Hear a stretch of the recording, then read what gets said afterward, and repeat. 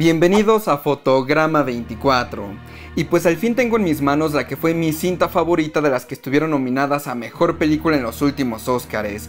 Yo sé, hay muchos fanáticos de La Forma del Agua, de Tres Anuncios por un Crimen o de Llámame por tu nombre, pero yo soy fanático de esta cinta. No sé, tiene un cierto encanto que hace que cada vez que la veo me fascine más y más.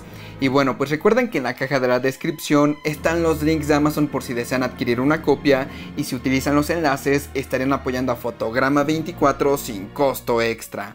Y bueno, pues comencemos con este breve unboxing. Como pueden ver, esta es la edición sencilla nacional y como ya es clásico viene en este empaque azul con el logotipo de Blu-ray en la parte superior. Abajito tenemos el cintillo que dice que incluye únicamente un Blu-ray. Ya en la portada tenemos el título El hilo fantasma, que no es la versión en inglés, y en el centro a los dos personajes principales de esta historia.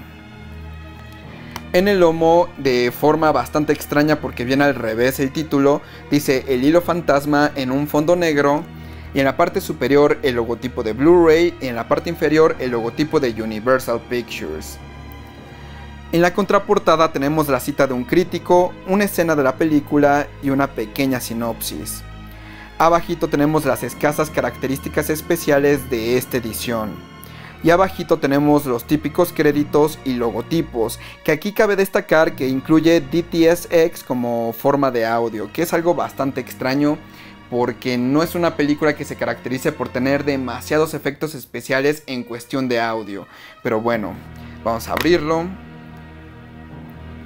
Y esta edición pues es bastante sencilla, al menos no es una caja reciclable y pues no tiene ningún tipo de arte, pero bueno, no, era, no esperaba algo más porque pues es una cinta muy de nicho, realmente es para un cierto tipo de público, un cierto tipo de cinéfilo yo diría.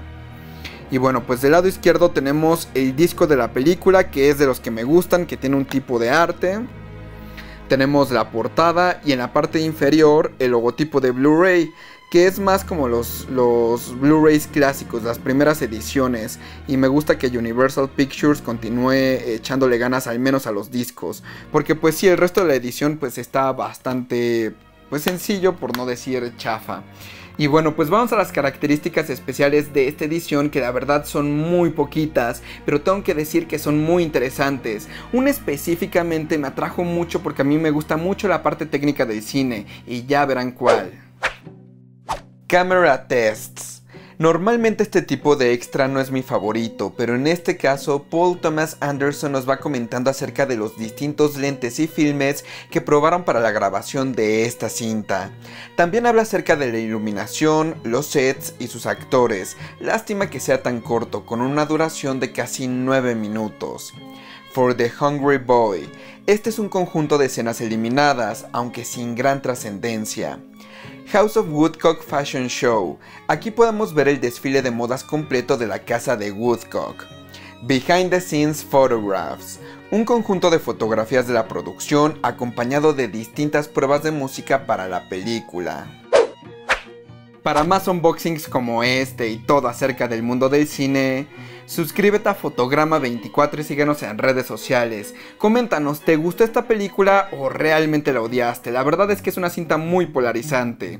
Soy David Arce y nos vemos la próxima.